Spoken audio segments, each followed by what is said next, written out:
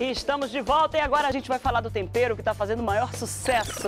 É claro que a gente está falando de Sazon. Sazon contém uma seleção de temperos naturais que deixa seus pratos deliciosos, que dá cor e sabor. É o custo-benefício. Cada flop contém 12 sachês e com cada sachê você prepara quatro porções com um custo de apenas 25 centavos. Isso mesmo, com apenas 25 centavos você prepara quatro porções. E além de tudo é muito prático. Você, dona de casa, não precisa mais ficar cortando cebola, tomate, etc. Mas se você é uma daquelas que não abre mão dos temperos tradicionais, não tem problema. Você pode usar Sazon com outros temperos, como um toque final. E neste mês de fevereiro, Sazon vai premiar você com uma máquina de lavar roupas com capacidade para 10 quilos. Está acabando o mês, viu? Basta você continuar enviando sua foto criativa para o WhatsApp 994811419 e você ainda concorre ao sorteio de um kit Sazon toda semana. E no fim do mês, você pode ser o ganhador de uma linda máquina de lavar com capacidade para 10 quilos. Sazon tem 11 sabores, você pode variar e pode repetir.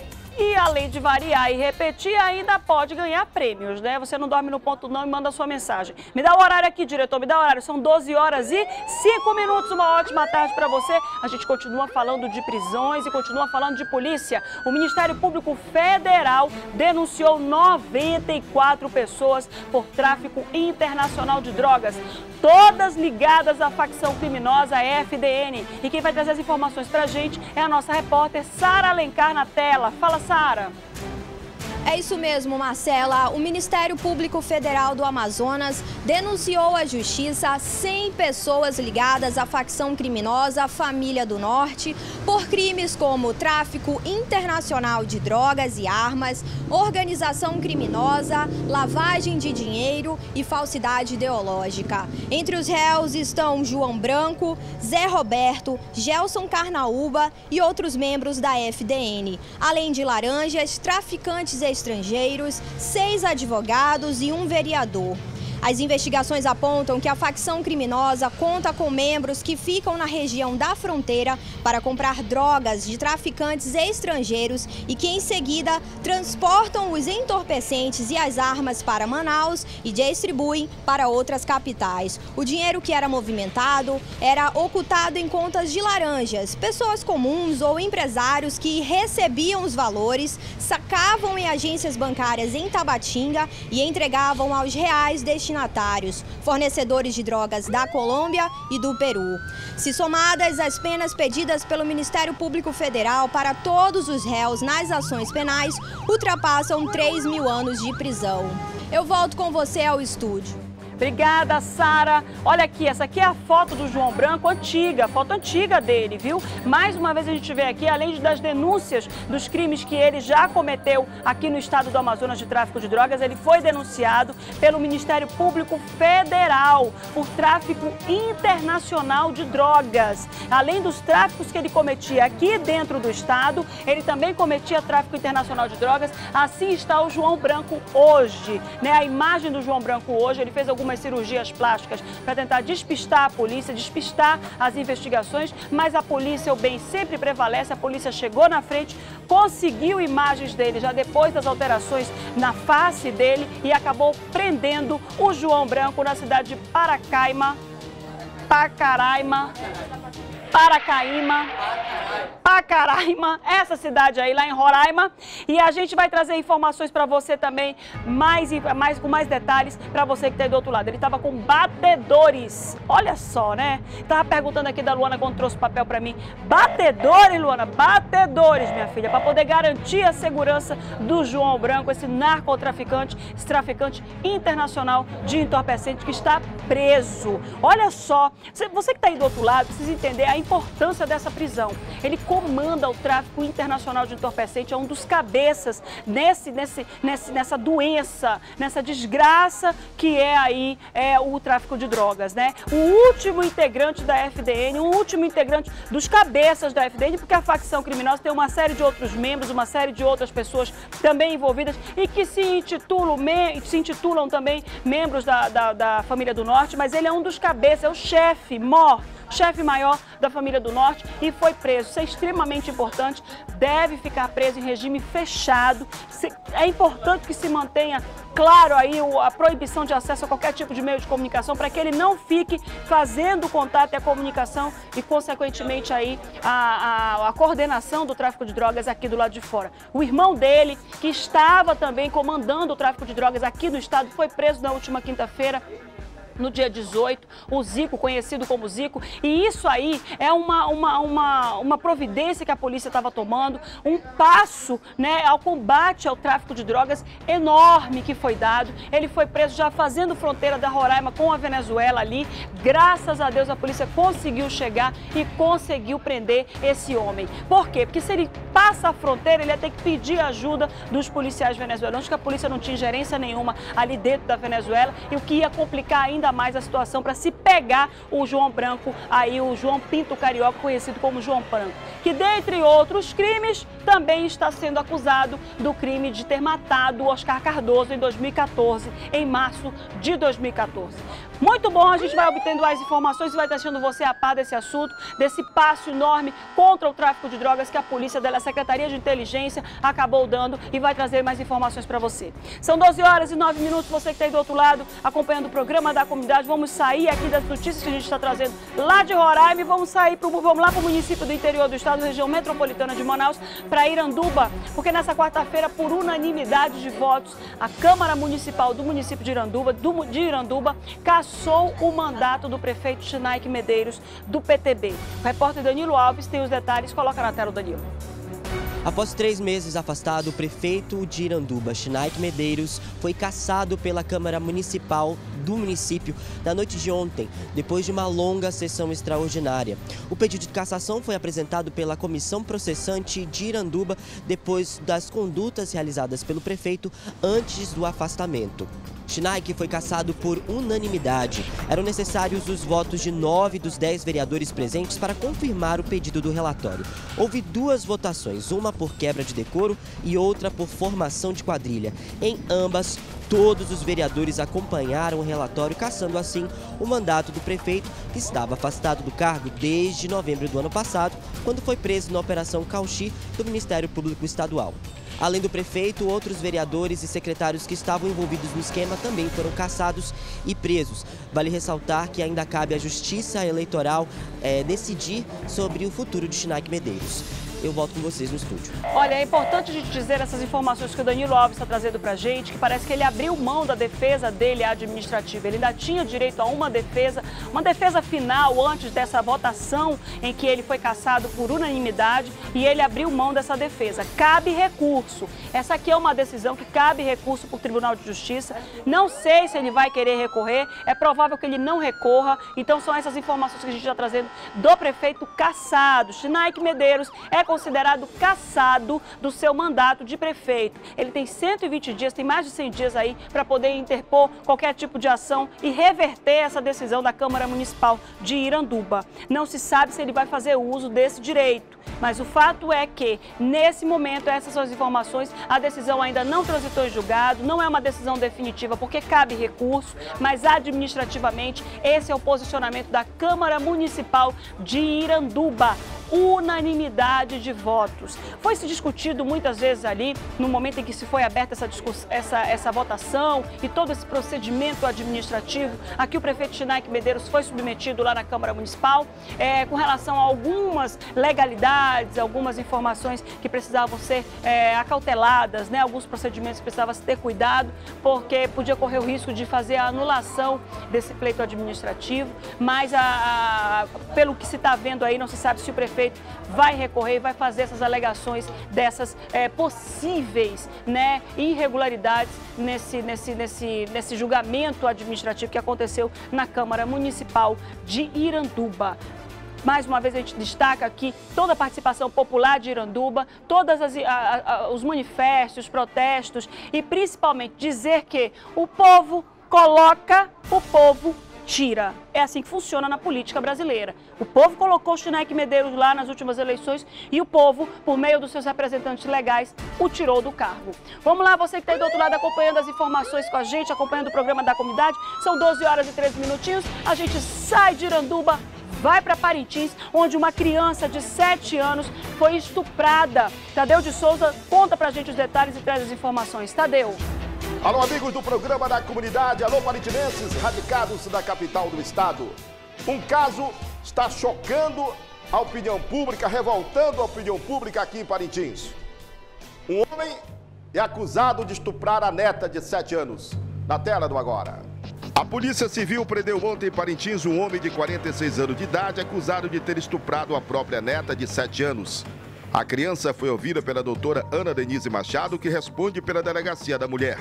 Segundo ela, o exame médico comprovou que a menina sofreu abuso sexual. O acusado, que é avô da garota, negou o crime e disse que está sendo alvo de uma armação para lhe prejudicar.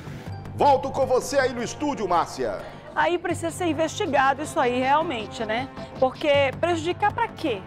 Por que, que vão fazer uma acusação dessa aí no avô da criança, contra o avô da criança, para prejudicar em quê? Isso tem que ser investigado realmente, mas eu tenho certeza absoluta que a, a delegada lá de Parintins, Ana Denise, vai trazer aí é, essas informações com mais detalhes e principalmente vai colocar quem é o verdadeiro culpado na cadeia, né? O fato é que foi uma criança de 7 anos violentada psicologicamente, fisicamente e que vai deixar essa criança com traumas aí para o resto da vida. Espero que ela receba, antes de mais nada, esse atendimento da, da assistência social, de psicólogos, para poder cuidar da cabecinha dessa criança e ela saber entender que ela vai ser uma mulher de sucesso, uma mulher vitoriosa e uma mulher sem traumas e que isso vai passar, se Deus quiser, porque é o que a gente precisa torcer. São 12h15, você que tem do outro lado, a gente volta aqui para a capital do estado, trazendo informações sobre donos de autoescola. Né? A gente traz aí manifestações que eles estão fazendo desde ontem e hoje, mais uma vez, eles se reuniram para fazer reivindicações ao Detran sobre a instalação dos novos simuladores, que é agora obrigatório para quem quer tirar a carteira nacional de habilitação. Quem traz informações mais uma vez para a gente é o Danilo Alves na tela.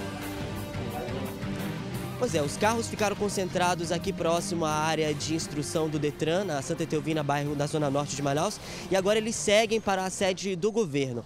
A principal reivindicação da categoria das autoescolas é por conta da nova regulamentação do Detran, que obriga a toda a CFC é, exigir o simulador na hora de realizar o processo para tirar a carteira de habilitação B, no caso, para os veículos automotores, os carros. E o que acontece é o seguinte, eles pedem mais prazo para... É, essa, essa regulamentação ser totalmente colocada. Todas as autoescolas já pediram o simulador.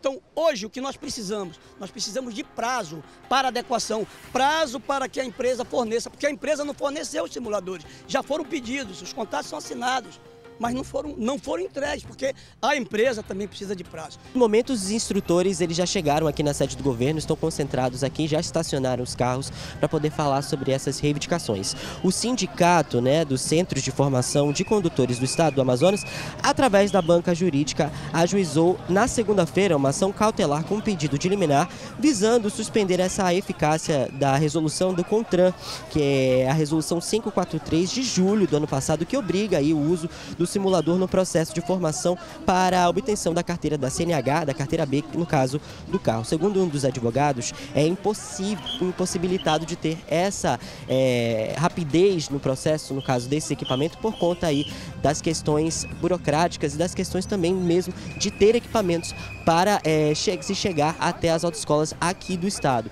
O Detran já até deu uma resposta, é, eles falaram que eles não podem dar mais prazo às autoescolas e sim apenas o contrato Detran, que no caso foi o que realizou essa resolução que pode, que pode dar o prazo a essas autoescolas. Além disso, há também a questão das áreas de treinamento, que eles afirmam sobre a precariedade das áreas de treinamento, eles afirmam que lá, no caso, é, além de ser um local longe, né, os, os próprios alunos, as próprias pessoas que vão realizar esse processo se sentem prejudicados por conta dos horários. Além disso, há a questão do, da carga horária. Existe um processo relacionado ao Detran que obriga o aluno a cumprir oito horas diárias, no caso, para poder ter a obtenção da CNH da categoria tanto A quanto B. E nesse ano, essa resolução, de acordo com o pessoal aqui da autoescola, é, foi limada e apenas cinco horas poderiam ser retratadas e sim, aí os alunos poderiam realizar essas aulas de cinco horas e para poder realizar esse processo para tirar a CNH. No entanto, essa resolução ainda não foi retirada do do Detran e os alunos continuam precisando realizar as 8 horas de aulas diárias para poder realizar o processo completo. Eles continuam por aqui, Márcia, a gente está acompanhando e a gente espera que eles consigam uma resposta tanto do governo quanto do CONTRAN. Eu volto com vocês no estúdio. Obrigada, Danilo Alves. Olha só, minha gente, é...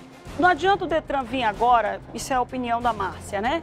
É, não adianta o, Detran vir, vir, agora e dizer, não, os donos de autoescola que resolvam com o CONTRAN. Se os donos de autoescola ali, por meio, do, por meio do representante, estão reclamando que a empresa que fornece os simuladores não tem equipamentos para fornecer as autoescolas. E aí? Vão ser multados, penalizados, a escola não vai poder funcionar, não vai poder ter os alunos para poder fazer o treinamento desses alunos, a educação desses alunos para que eles possam tirar a carteira deles? Como é que fica isso? Eu acho que nesse momento o Detran tem que ser um pouco mais parceiro. O Detran que tem que preservar, que é um órgão ali que regulamenta e determina ali a organização do trânsito, ele tem que também trabalhar junto com as autoescolas para interceder junto ao CONTRAN essa dificuldade que eles estão vivendo, essa dificuldade que eles estão vivenciando. Né? Na confusão lá, um dono de uma das autoescolas aí acabou sendo detido pela polícia militar, porque os carros que estavam parados ali começaram a ser autuados pela polícia militar, começaram a ser notificados pela polícia militar, e aí um dono se, se irritou, mas foi detido, mas já foi liberado. Eu acho que não é o momento agora de se exasperar, de se perder a paciência, de se irritar. Momento agora é de conversa. É preciso que o Detran mantenha esse diálogo. Porque a gente sabe que o Cotran, Denatran, sei lá o quê, é, tem, é, é, uma, é, é, é como se fosse uma mulher de fases. Primeiro era obrigatório o extintor. Tira extintor. Não é mais obrigatório manter o extintor lá, aquele extintor que deu uma confusão danada. Um monte de empresa que trabalha com extintor teve que comprar um monte de extintor para poder atender a população ali, os donos de veículos, tiveram foi prejuízo. Porque o Cotran veio, o Denatran veio, sei lá quem foi que veio lá, esses órgãos aí que já são, que regulamentam aqui os Detrans das capitais, dos estados, vieram, de, de, primeiro determinaram que tinha que ter o kit de primeiros socorros cancela tudo, ninguém mais vai ter que ter kit de primeiro socorro. E um monte de gente comprou os kits de primeiro socorro. Aí depois veio a situação dos, dos extintores, agora determina simulador. Ah, gente, peraí. Bora ter um pouco mais de flexibilidade com relação a isso, porque não pode os, os donos de autoescola que vivem disso, que sustentam as suas famílias, trabalharem desse jeito com essa insegurança, com essa instabilidade. E principalmente, eles não estão deixando de comprar os simuladores porque não querem se adequar às normas, se adequar à legislação. Eles não estão comprando os simuladores porque a empresa que fornece não tem. E ponto! E vai caber aí ao CONTRAN, e eu menciono nesse momento o DETRAN, porque não é o DETRAN que faz a exigência, quem faz a exigência é o CONTRAN, mas eu menciono o DETRAN para o DETRAN intermediar junto ao CONTRAN e explicar essa dificuldade que é muito mais fácil um órgão conversar com outro órgão do que o particular conversar com um órgão, não é não? 12 horas e 21 minutos, você que está do outro lado acompanhando o programa da comunidade, participe conosco. 3307 3951 e 3307 3952. Vamos trazer, continuar trazendo informações aí, dessa vez informações de polícia, porque a polícia já identificou mais um policial militar envolvido no sequestro de um homem que está desaparecido há quase um mês. Uma tristeza dar uma notícia como essa, viu? E quem vai trazer as informações pra gente é a repórter Priscila Gama. Coloca a Priscila na tela. É isso mesmo. O quarto envolvido no sequestro de Marinaldo Franco foi identificado. Ele é um cabo da Polícia Militar lotado no batalhão de guardas e ele tira serviços no IPAT. A polícia espera que ele se apresente aqui na Delegacia de Homicídios e Sequestros nos próximos dias. O delegado que acompanha o caso disse que as investigações estão avançadas, não descarta a participação de outras pessoas e de que a vítima ainda esteja viva. A gente investiga todas as hipóteses, inclusive a hipótese dele já está morto, né? o que não parece. Nós temos a informação de que ele foi sequestrado por um veículo determinado, nós já sabemos qual é, é nas cercanias do Manou, ali entre a rua 37, foi, foi colocado dentro de um veículo né? e foi embora, a partir daí, no dia 21 passado, um mês atrás. E a gente acredita que essas pessoas sejam, sejam as responsáveis também pelo sequestro, além da extorsão. A gente precisa avançar nas investigações. Quatro homens já foram presos, todos são policiais militares. A acusação é de extorsão mediante sequestro. Eu volto com você no estúdio. Muito triste, obrigada Priscila Gama. Uma tristeza a gente denunciar isso, mas é como a gente sempre diz: a corporação não vai pagar por poucos. Muitos são bons e poucos é que estão estragados. E a Polícia Militar continua íntegra e idônea. E é isso que a gente tem para dizer. 12 horas e 23 minutos, uma quadrilha especializada em roubo de carros foi presa na noite dessa quarta-feira pela Polícia Militar, pelos mocinhos. Vamos colocar aqui na tela. A prisão aconteceu por volta das 19 horas na Avenida das Torres, na zona centro-sul da capital. Nós chegamos a, a, a abordar o veículo na Avenida das Torres, que havia feito um roubo no mercadinho na mesma avenida. Foi encontrado dentro do veículo um revólver calibre 38 e perguntado ao mesmo se ele havia roubado outros veículos. Ele levou a gente numa casa no São Judas Tadeu, que foi encontrado dentro da casa já outro veículo, um Gol preto com restrição de roubo. E esse elemento que efetua roubo, ele já tinha contato com o vulgo Playboy. O vulgo Playboy ele esquentava os carros e fazia pedido de carros roubados. De acordo com a polícia militar, era Playboy quem encomendava os carros roubados. Ele adulterava os veículos e o distribuía ao restante do grupo para que eles praticassem assaltos pela capital.